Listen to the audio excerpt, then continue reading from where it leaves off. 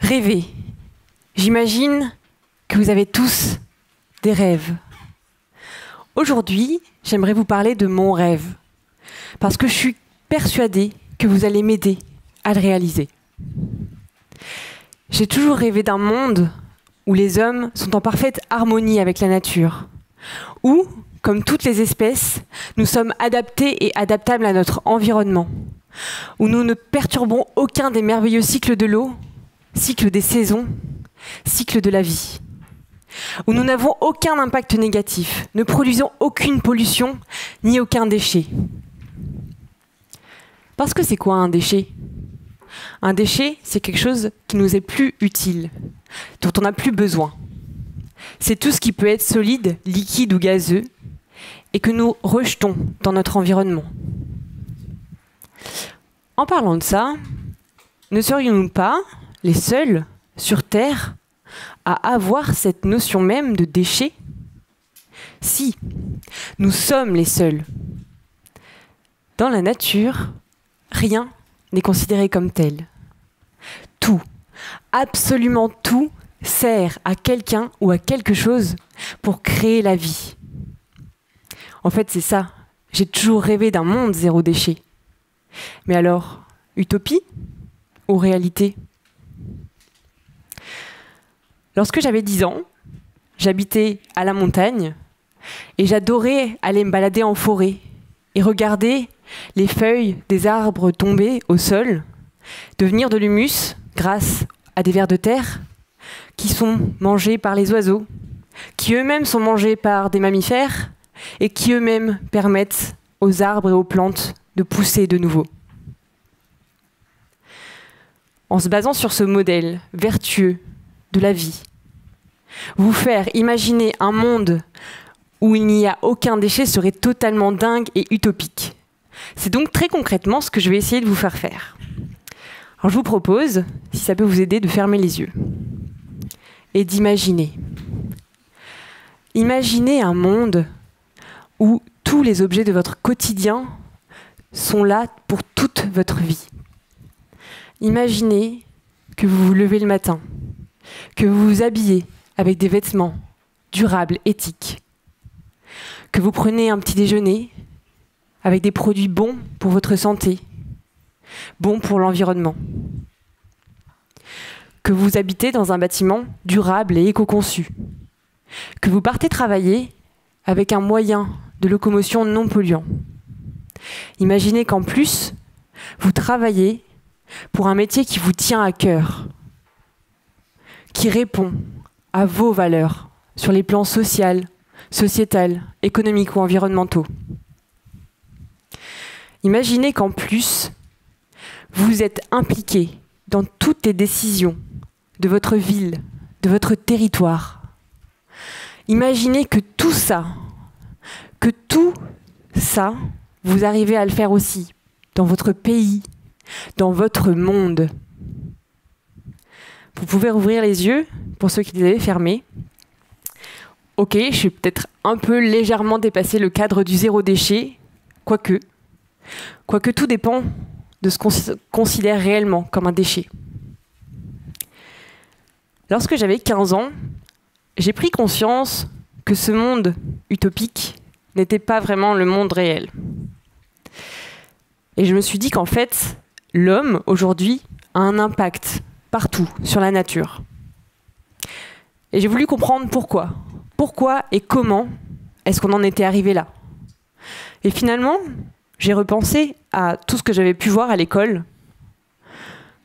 Le Big Bang, la création de la vie, les animaux, l'homme, l'Antiquité, le Moyen Âge, l'industrialisation, la mondialisation, la consommation, la surconsommation et l'hyperconsommation d'aujourd'hui. Bref, l'homme a toujours évolué et évolue toujours. Parce que si nous sommes les seuls à avoir cette notion de déchet, nous sommes aussi les seuls à pouvoir imaginer notre société de demain. Finalement, le monde d'aujourd'hui, c'est le rêve des hommes d'hier.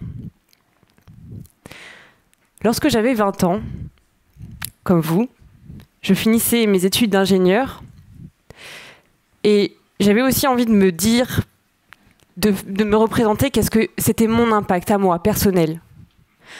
Parce que finalement, qu'est-ce qu'on voit? On voit notre poubelle, on voit notre voiture, on voit notre facture d'eau, d'électricité. Mais on se rend rarement compte de tout ce qu'il peut y avoir derrière. Je vais vous prendre un exemple. Un jean.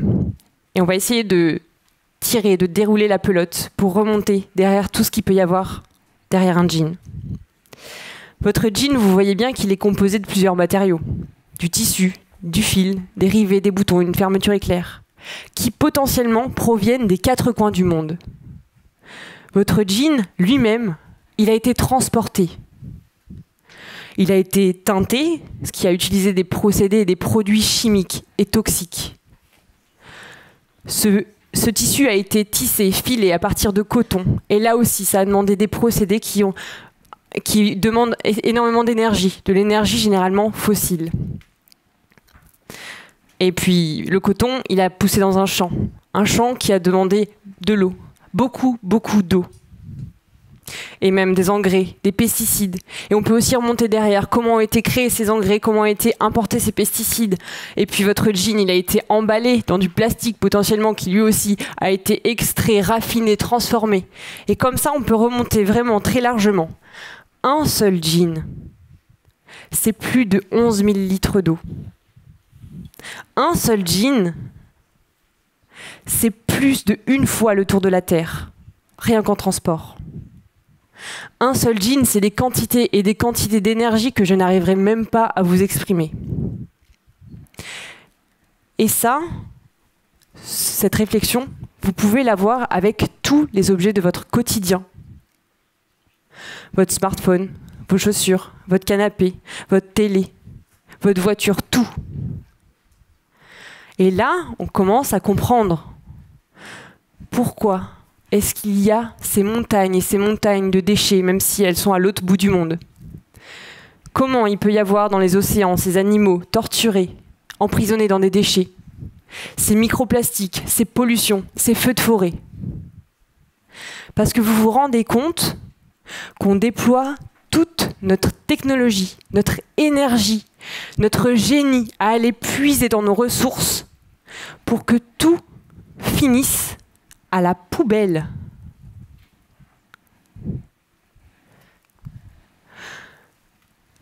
Mais la vraie réalité, c'est qu'on se dise tous que c'est pas nous, que c'est les autres, que c'est pas ici, que c'est loin, et que c'est pas si grave. Bon, du coup, on va rentrer dans la partie un peu culpabilisante de la présentation. Mais si, c'est nous. Et c'est grave. C'est nos déchets. C'est nous qui produisons. C'est nous qui achetons. C'est nous qui consommons. Et c'est nous qui jetons. Et c'est ça la réalité. Bon, maintenant qu'on a mis un peu tout ça à plat, moi je veux vous dire que j'y crois, que je crois en cette utopie que je crois en ce monde meilleur. Et pour ça, je vous rappelle qu'il faut toujours que vous aussi, vous m'aidiez à réaliser mon rêve. Donc il faut qu'on y croit, tous, ensemble, qu'on croit à cette réalité, à cette utopie, pardon, et qu'on évolue. Alors, évoluer, oui, mais la vraie question, c'est comment? Parce qu'attention, je dis pas qu'il faut plus s'habiller, manger, euh, consommer, acheter, se déplacer. Et tous ces verbes en et. Je dis simplement qu'il faut réfléchir. Réfléchir et agir de la meilleure manière. Alors personnellement, ça m'a pris quand même pas mal de temps à prendre conscience de tout ça et à savoir comment faire, par quel bout commencer. Donc pour que vous, vous alliez plus vite que moi, je vous propose de vous montrer un peu des manières de fonctionner, des manières de réfléchir, de penser dans certaines situations. La première situation, c'est quand vous avez besoin de quelque chose. J'ai besoin de quelque chose, qu'est-ce que je fais? Je me demande si c'est nécessaire et la première des choses à faire, c'est de refuser. De refuser d'acheter neuf. Et vous avez le pouvoir de refuser d'acheter. Et la deuxième des choses à faire, c'est de trouver une alternative et d'agir dans le bon sens, d'emprunter, de mutualiser, de réparer, d'acheter d'occasion. On peut prendre un exemple. Euh, j'ai besoin de faire un trou dans mon mur, j'ai besoin d'une perceuse. Eh ben, la première chose à faire, c'est de se dire, je n'ai pas besoin, je refuse d'acheter une perceuse neuve. Et je trouve une alternative. Je fais autrement. Je peux l'emprunter à mon voisin, je peux la mutualiser, la louer dans un magasin de bricolage. Je peux réparer l'ancienne de mes grands-parents. Ou je peux acheter une perceuse d'occasion. Et derrière, la redonner, la revendre, lui redonner une deuxième, voire une troisième vie. La seconde des situations, c'est quand vous avez plus besoin de quelque chose. Finalement, le moment où vous allez jeter. Et bien la première des choses à faire, c'est pareil, c'est de refuser de jeter. Et la seconde chose à faire, c'est pareil aussi, c'est de trouver une alternative. Vous pouvez donner, vous pouvez vendre, vous pouvez réutiliser et vous pouvez valoriser, recycler ou composter. Là aussi, si on, si on prend un exemple, par exemple, reprenons notre fameux jean. Première chose, je refuse de le jeter, surtout quand je sais tout ce qui s'est passé derrière. Deuxième chose, je trouve une alternative. Je peux le donner, je peux le vendre, je peux, s'il est trop abîmé, le découper, en faire autre chose, ou je peux le recycler euh, pour que, par exemple, il devienne euh, un matériau pour isoler un bâtiment. Et le jour où il sera parfaitement euh, éco-conçu, je pourrais peut-être le composter. Rien de bien compliqué, on est d'accord? Finalement, si vous appliquez ces deux principes, 1 je refuse, deux, je fais autrement, vous allez voir que vous allez changer votre vie en mieux. Pour conclure, je voudrais vous parler d'une dernière notion, celle de l'économie circulaire. Parce que finalement, si vous appliquez 1. Je refuse 2. Je trouve une alternative, vous allez faire de l'économie circulaire. Et vous allez pouvoir l'appliquer dans votre vie perso, dans votre vie pro et en tant que citoyen. Et finalement,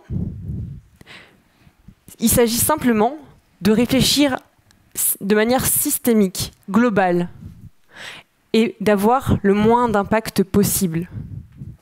De s'inspirer tout simplement de la nature, de créer notre propre cycle le cycle de l'homme, sans doute. Je m'appelle Mélie Carcassonne, j'ai 25 ans, et pour évoluer vers ce monde de demain, j'ai créé mon métier pour montrer les solutions, pour guider ce changement et pour passer à l'action. Je suis consultante en économie circulaire et j'accompagne les particuliers, les entreprises et les territoires à aller vers ce monde, vers cette économie de demain. Mais je n'y arriverai pas seul. C'est à nous tous, aujourd'hui, de changer. C'est à nous tous d'évoluer. C'est à nous de rêver. Et c'est à nous d'imaginer notre utopie pour que demain, elle soit notre réalité. Merci. Thank you.